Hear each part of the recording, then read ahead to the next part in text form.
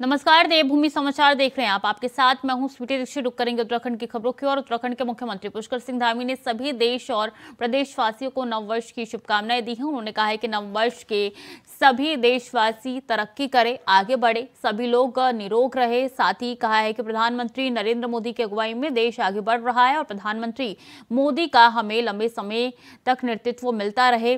उन्होंने कहा है कि हमारा देश विश्व की पांचवी बड़ी अर्थव्यवस्था वाला देश बन गया है और पीएम पीएम मोदी के तीसरे टर्म में हम तीसरी सबसे बड़ी अर्थव्यवस्था बने। शुभकामनाएँ देता हूँ और देशवासियों के लिए नया वर्ष उपलब्धि भरा हो नई नई नई नई उपलब्धियाँ प्राप्त हों, सबके जीवन में सफलता प्राप्त हो, हर कोई निरोगी हो, हमारे प्रधानमंत्री जी का नेतृत्व हमको लंबे समय तक प्राप्त हो, देश, दुनिया, हमारा जैसे भारत आज दुनिया की पाँचवीं, दुनिया की सबसे बड़ी अर्थव्यवस्था बन गया है। आने वाले उनके तीसरे टर्म में भारत तीसरे नंबर की अर्थव्यवस्था बनेगा। सबको शुभकामनाएँ। और कैबिनेट मंत्री गणेश जोशी ने मसूरी विधानसभा क्षेत्र के बूथ संख्या चौरासी में प्रधानमंत्री नरेंद्र मोदी के मासिक रेडियो कार्यक्रम का 108वां संस्करण को पार्टी कार्यकर्ताओं के साथ सुना। प्रधानमंत्री नरेंद्र मोदी ने मन की बात में गुजरात में डायरा की परंपरा झारखंड के एक आदिवासी गाँव के कुडुक भाषा मिलेट्स फिटनेस राम मंदिर का भी ज़िक्र किया। मन की बात में उन्होंने युवाओं को फिट रहने का संदेश दिया। इस अवसर पर कैबिनेट मंत्री गणेश जोशी ने कहा कि मन की बात का आज एक संस्करण है। उन्होंने उन्होंने कहा कि हमारे सनातन संस्कृति में 108 अंक का विशेष महत्व है। साथ ही अयोध्या में राम मंदिर को लेकर पूरे देश में उत्साह है। लोग अपनी भावनाओं को अलग अलग तरीके से व्यक्त कर रहे हैं। मंत्री ने सभी से मन की बात कार्यक्रम को सुनने की अपील भी की। 108 अंक का बहुत बड़ा महत्व है। आप देखा होगा कोई हम धार्मिक कार्य करते हैं, वो करते हैं तो एक सौ जॉब जाप करा हो और, आज मोदी जी ने जहाँ राम मंदिर की बात की, वहीं क्योंकि अगर आदमी स्वस्थ नहीं है, आदमी कितना भी धनवान है, कितना पैसा उसके पास है बड़ा परिवार है। लेकिन अगर वो स्वस्थ नहीं है तो सब बेकार है। आज तो विशेष फोकस फिटनेस पे हुआ और क्योंकि नए वर्ष आने में कुछ ही घंटे बाकी हैं और हमें संकल्प लगा कि हम सबसे पहले, अगर हम खुद ही स्वस्थ नहीं रहेंगे तो अपने परिवार की, अपने समाज की, अपने देश की हम क्या सेवा कर पाएँगे? तो आज जो देश मन की बात से मोदी जी ने दिया है। हमें इसे स्वीकार करते हुए फिटनेस पर विशेष ध्यान करना चाहिए। खबर अक्सर से है, जहाँ जैतपुर गाँव में नवनिर्मित पेयजल पाइपलाइन जगह जगह से लीक होने लगी है, जिसके चलते गाँव के अधिकांश गलियों में पानी भर गया है। ग्रामीणों ने विभागीय अधिकारियों और ठेकेदारों पर घटिया स्तर का पाइप इस्तेमाल करने का आरोप लगाया है। इसकी शिकायत तहसील से लेकर जिला मुख्यालय तक के अधिकारियों को की गई है। इस मामले में एसडीएम लक्सर ने संज्ञान लेते हुए जाँच कमेटी गठित करने की बात कही है।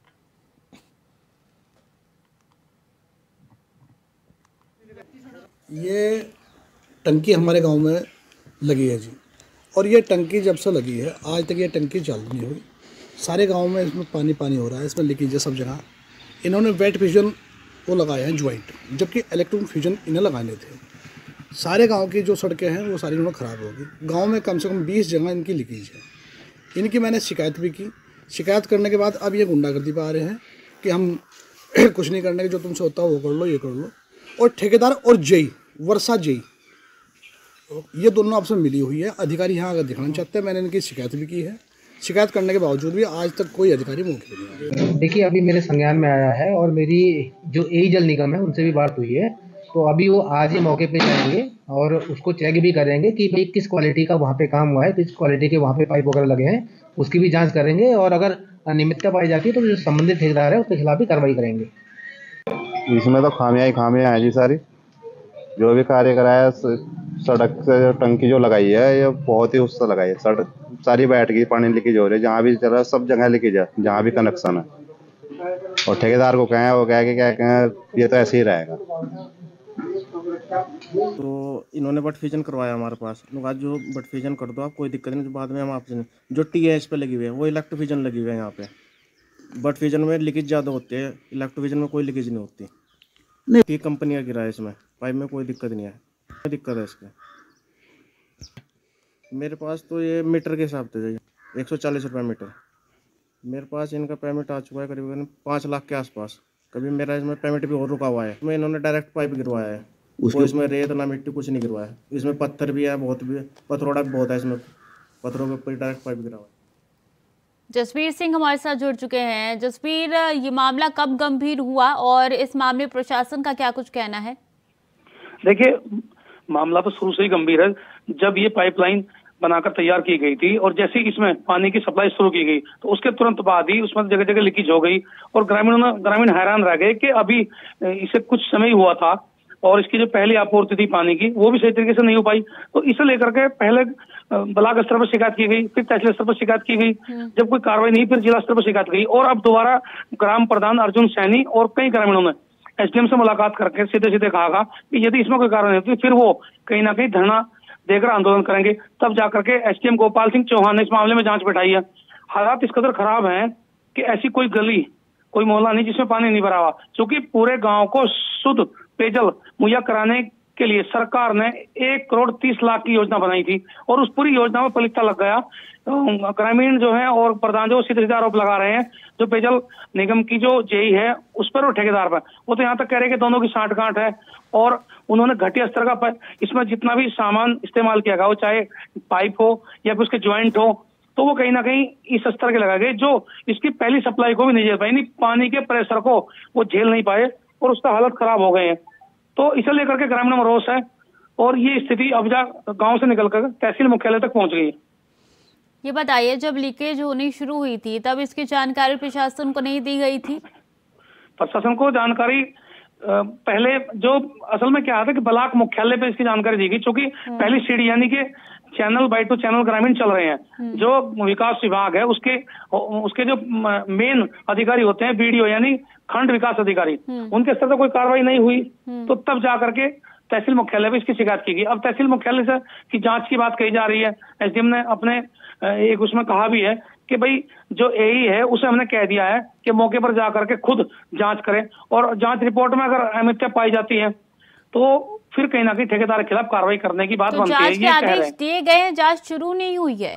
जाँच के आदेश दे दिए हैं उसमें अभी चूँकि कम से कम एक हफ़्ता भर तो उसमें लगेगा हफ़्ता भर का इंतज़ार ग्रामीण कर रहे हैं फिर नहीं तो इसमें आगे कार्रवाई ग्रामीण जो भी आंदोलन की रूप रणनीति बनाएँगे वो उसकी तैयारी में जुटे हैं।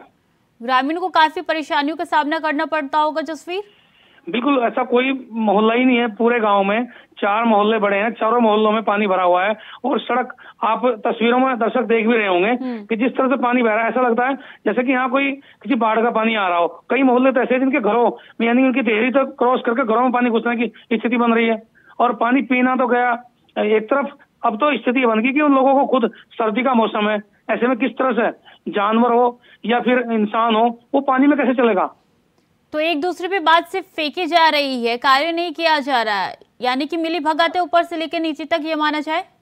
हाँ मिली भगत कई आरोप लगाया जा रहा है। और उम्मीद ग्रामीणों को यह कि अब एसडीएम स्तर से कोई कार्रवाई हो इसमें तो नहीं तो उसके बाद फिर आंदोलन करेंगे। ठीक है जसवीर बहुत बहुत शुक्रिया आपका तमाम जानकारियों के लिए। पर देहरादून से हैं, जहाँ मकर संक्रांति के अवसर पर मूल निवास लागू करने की मांग को लेकर एक अनोखे आंदोलन की शुरुआत बागेश्वर से होने जा रही है। मूल निवास संगठन समिति के द्वारा सरयू नदी के तट पर स्थायी निवास की प्रतिलिपियों को प्रवाहित किया जाएगा। मूल निवास संघर्ष समिति, कुली बेगार आंदोलन की तर्ज पर मूल निवास आंदोलन को नया स्वरूप दिए जाने की कोशिश कर रही है। लेकिन मूल निवास संगठन समिति के द्वारा सरयू नदी के तट पर स्थायी निवास की प्रतिलिपियों को प्रवाहित करने को लेकर केदारनाथ नाथ विधायक शैला रानी रावत का कहना है कि इस तरीके से ड्रामेबाजी करने से कुछ नहीं होगा। सीएम धामी पहले ही कमेटी बना चुके हैं, हालाँकि उन्होंने भी मूल निवास का समर्थन किया है और कहा है कि हमारी संस्कृति और परंपरा जीवंत रहनी चाहिए। मुख्यमंत्री हैं, पहले ही समिति बना चुके हैं और ऐसा नहीं है, उत्तराखंड के लिए उनके मन में बहुत बड़ा दर्द है और मैं तो ये भी कहूँगी कि मूल निवास होना ही चाहिए, लेकिन इस तरह की ड्रामेबाजी से कुछ नहीं होगा। उसमें जब समिति बन गई तो ज़रूर हमारे पक्ष में निर्णय होगा। जो हमारी परंपरा है, जो हमारी संस्कृति है, वो जीवित रहनी ही चाहिए। तो इसमें जो है हमारे सरकार समिति बना के अपना जो है, जो भी समिति की रिपोर्ट होगी, उस हिसाब से काम और पहाड़ों की रानी। मसूरी में नए साल के स्वागत के लिए तैयारियाँ पूरी हो गई है। आपको बता दें कि होटल व्यापारियों ने पर्यटकों को आकर्षित करने के लिए कई पैकेज बनाए गए हैं। होटलों में भी करीब 80 प्रतिशत एडवांस बुकिंग हो चुकी है। नए साल के जश्नों को लेकर पर्यटकों की भारी भीड़ मसूरी और आसपास के क्षेत्र में पहुँचती है। शहर के विभिन्न होटलों में नए साल को लेकर विभिन्न कार्यक्रम आयोजित किए जा रहे हैं, जहाँ बच्चों के लिए फन गेम की व्यवस्था होगी। वहीं युवाओं के लिए बॉन फायर और लाइव म्यूज़िक की व्यवस्था भी की गई है। आपको बता दें कि मसूरी पुलिस के साथ ही यातायात पुलिस और अतिरिक्त पुलिस बल के जवान भी चप्पे चप्पे पर मौजूद रहे। यातायात का दबाव अधिक होने पर रूट डाइवर्ट कर दिया जाएगा। मसूरी के स्टेशन संचालक प्रभारी ने बताया कि बीते रोज बड़ी संख्या में उन्होंने पर्यटकों को मसूरी पहुँचाया। उन्होंने कहा है कि यात्रियों के लिए बसों की व्यवस्था भी इस दौरान की गई है। इससे परिवहन विभाग की आमदनी को भी काफ़ी इजाफा हो रहा है। मेजपाल सिंह मैं मसूरी बस स्टैंड पर संचालन प्रभारी हूँ और प्रतिदिन हमारी पर्वतीय क्षेत्र की पैंतीस सेवाएँ और आजकल भीड़ होने की वजह से लगभग 40 से 45 बसें अप डाउन करती हैं। यानी कि लगभग 80 से 90 टाइम अप डाउन के हमारे डेली चल रहे हैं। दिसंबर के महीने में चूँकि लोगों की छुट्टियाँ भी होती है और नया साल मनाने हेतु तो भी अब बहुत सारे यात्री मसूरी के लिए पहुँच रहे हैं। कल लगभग 1200 कुछ यात्री हमारे देहरादून से मसूरी हमारी बसों के द्वारा गए और आज भी अभी तक हमारे 25 बसें मसूरी जा चुकी हैं जबकि इस समय तक हमारी 11, 12, 13 बसें जाती थी। लगभग जस्ट डबल बसें अभी तक मसूरी जा चुकी हैं। यानी आज भी लगभग डेढ़ हज़ार के आसपास यात्री मसूरी पहुँच जाएँगे। करीब मसूरी में कितने यात्री पर्यटक पहुँच चुके होंगे? मसूरी में लगभग मसूरी फुल है सभी होटल फुल है तो लगभग एक लाख के आसपास यात्री मसूरी में पहुँच गए अच्छा सर यात्रियों को कोई असुविधा ना हो खासकर थर्टी और हरिद्वार में अवैध खनन पर प्रशासन ने बड़ी कार्रवाई की है। एसडीएम अजय वीर सिंह के नेतृत्व में खनन विभाग की टीम ने श्यामपुर क्षेत्र में सात भंडारण, तीन स्क्रीनिंग प्लांट और क्रैशर पर अवैध खनन में कार्रवाई करते हुए 50 लाख रुपए से भी अधिक का अर्थदंड लगाया है। एसडीएम की कार्रवाई से खनन माफियाओं में हड़कम मच गया एसडीएम ने कहा है कि अवैध खनन को किसी भी सूरत में बर्दाश्त नहीं किया जाएगा। आगे भी अवैध खनन और अवैध भंडारों पर इस तरीके की लगातार कार्रवाई की जाएगी।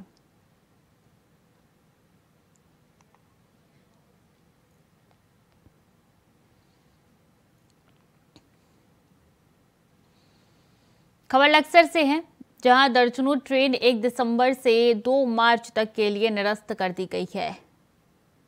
इनके निरस्त होने से लक्सर रूट की हरिद्वार, ऋषिकेश और देहरादून की 16 ट्रेनों के करीब 8000 मुसाफिर अपने टिकट या आरक्षण रिफंड कर चुके हैं। इनके रिफंड में रेलवे को अभी तक पैंसठ लाख रुपए वापस करने पड़े हैं। आपको बता दें कि सर्दियों में कोहरे के कारण दुर्घटना की संभवता को देखते हुए हर साल की तरह रेलवे इस बार भी बहुत सारी सवारी गाड़ियों को रद्द करती है।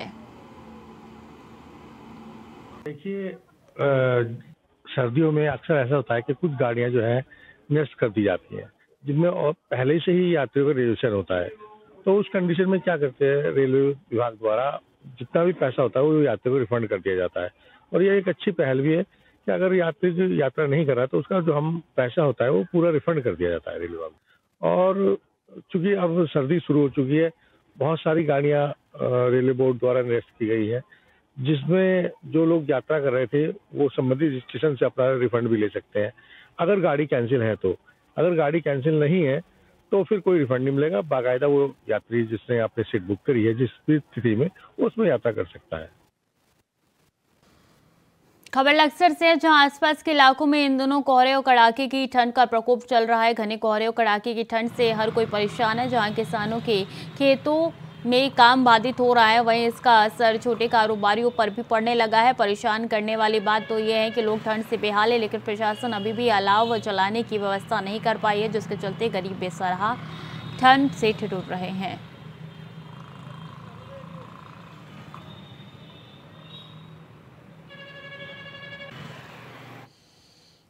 खबर पौड़ी से है, जहाँ डंडा, ठंडा पानी के समीप एक वाहन ने पैदल चालक को टक्कर मार दी है। इसके बाद वाहन चालक वहाँ से फरार हो गया, जिसके बाद स्थानीय लोगों ने तुरंत 108 में सूचना दी। 108 के मदद से पैदल चालक से मेडिकल सहायता उपलब्ध कराई गई, लेकिन चालक की गंभीरता को देखते हुए उसे सीएमआई रेफर कर दिया गया। पुलिस ने गाड़ी चालक को पकड़ लिया है। कल मेरे फादर जो कि कहीं से घर आ रहे थे। गुरदौड़ी में एक महिला, उनके साथ उनका ड्राइवर था, जो कि तेज़ रफ्तार में गाड़ी चला रहे थे और उन्होंने मेरे फादर को रोड क्रॉस करते हुए टक्कर मार दी और उनको उसी हालत में छोड़ के चले गए, पानी भी नहीं पिलाया। तो ऐसे लोगों के खिलाफ़ मैं सख्त से सख्त कार्रवाई चाहती हूँ और आप सब लोगों की मदद चाहती हूँ। डोईवाला के शहीद दुर्गा मल राजकीय स्नातकोत्तर महाविद्यालय में उत्तराखंड अधीनस्थ सेवा चयन आयोग ने आज वीपीडीओ और वीडियो भर्ती की लिखित परीक्षा का आयोजन किया, जिसमें कुल 500 परीक्षार्थियों को परीक्षा देनी थी, लेकिन परीक्षा देने के लिए 355 परीक्षार्थी ही उपस्थित हुए। 145 परीक्षार्थियों ने परीक्षा छोड़ दी। परीक्षा देकर आए परीक्षार्थियों का कहना था कि पेपर को बहुत ही बढ़िया ढंग से तैयार किया गया है। उत्तराखंड की गढ़वाली और कुमाऊनी भाषाओं के साथ ही जनरल नॉलेज के प्रश्न पेपर में आए हैं। परीक्षा देने के बाद जहाँ कई परीक्षार्थियों के चेहरे खिले हुए थे तो वहीं परीक्षा देने के बाद कई परीक्षार्थियों के चेहरे के रंग उड़े नज़र आए। परीक्षा के लिए कॉलेज प्रशासन ने सुरक्षा के पुख्ता इंतज़ाम किए थे। सभी परीक्षार्थियों को चेकिंग के बाद की परीक्षा केंद्र में प्रवेश दिया गया। तो बता दें कि परीक्षा देने के लिए बच्चियाँ गई थी और भारी संख्या में परीक्षार्थी पहुँचे थे, जहाँ कुछ परीक्षार्थी जो है उनके चेहरे खिले हुए नज़र आए। तो कुछ ऐसे परीक्षार्थी जिनके मायूसी चेहरों पर दिखी और ऐसे में भारी संख्या में गए थे। 145 परीक्षार्थी गए थे। आयोग की ओर से परीक्षा का आयोजन किया गया था। सुरक्षा के पुख्ता इंतज़ाम थे। भारी संख्या में परीक्षार्थी पहुँचे थे।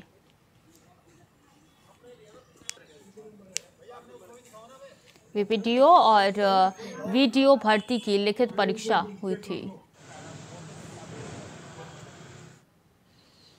खबर देहरादून से है। अयोध्या में बने रहे। उत्तराखंड के राज्य अतिथि गृह में पौराणिक संस्कृति की झलक दिखाई देगी। इस बात की जानकारी संस्कृति परिषद के उपाध्यक्ष मधु भट्ट ने दी। उन्होंने बताया कि उत्तराखंड के चारधाम का चित्रण भी इस अतिथि गृह में दिखाई देगा। इसके साथ ही तैयारियाँ पूरी हो चुकी है और जल्द ही निर्माण कार्य शुरू हो जाएगा, चूँकि राज्य सरकार को अयोध्या में ज़मीन भी मिल गई है।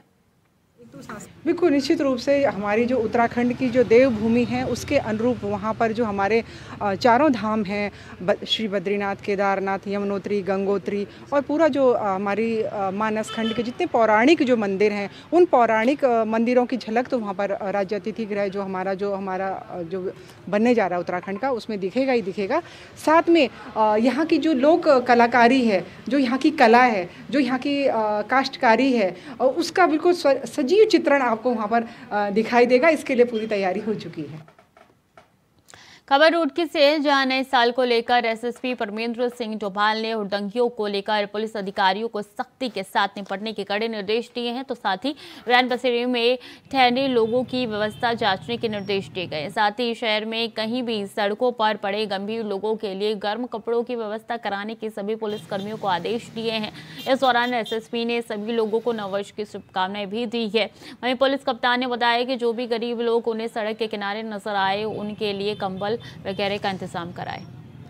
नववर्ष को व्यवस्थित ढंग से और सकुशल संपन्न कराने के लिए पुलिस लगातार सड़कों में रहेगी, काम भी करेगी और जो लोग हुड़दंग वगैरह करते हैं, उन पर भी नकेल कसेगी।